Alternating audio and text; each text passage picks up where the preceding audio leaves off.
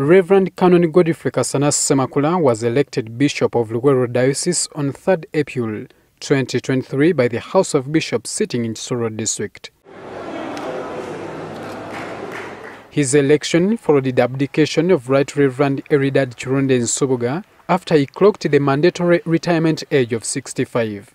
However, before his scheduled consecration and enthronement, a Christian by name of Kenneth Chikabi petitioned the Archbishop of the Church of Uganda, His Grace Dr. Samuel Steven Kazimba Mugalu, seeking nullification of Canon Kasana's election and challenging the suitability of the bishop-elect on allegations of infidelity.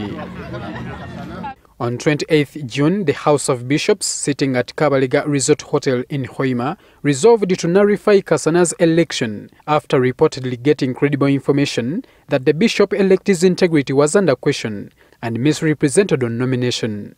However, some Christians were not happy with the decision and walked in a procession through Luwero town to show their displeasure, but later on sought court redress. In their suit filed on 23rd July, the Christians from different Anglican churches in Luwero contended that the House of Bishops has no mandate to try ecclesiastical offences as the preserve of the diocese and provincial tribunals.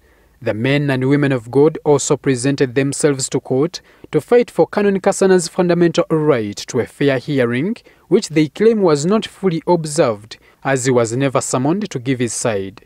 The aggrieved Christians then asked the High Court to issue an injunction stopping the House of Bishops from nominating another candidate and to also declare the cancellation of Kasana's election as null and void. However, in twist of events, Archbishop Kazima Mugalu countersued the aggrieved Christians and asked court to throw out their case for being filed against the wrong party because he did not take the decision to nullify Canon Kasana's election.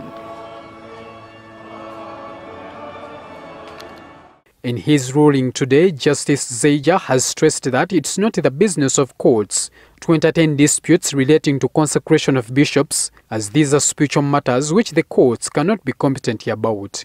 The principal judge has guided that the courts cannot appoint a bishop for the church and has advised the congregation to make use of the bodies within the Anglican Church to resolve such disputes.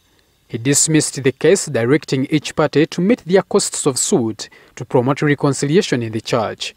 In the meantime, Right Reverend James William Ssebaggala, the retired Mukono Diocese Bishop, was appointed caretaker of Luwero Diocese until March next year as the church organizes itself for a new bishop. Habat Kamoga, NTV.